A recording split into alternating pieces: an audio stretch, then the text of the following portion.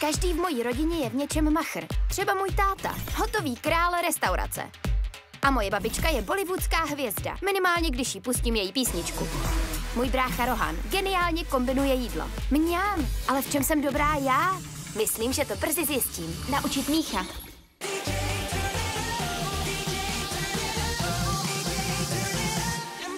Mixni to. Premiéra v sobotu 1. ledna v 19.00 na Disney Channel.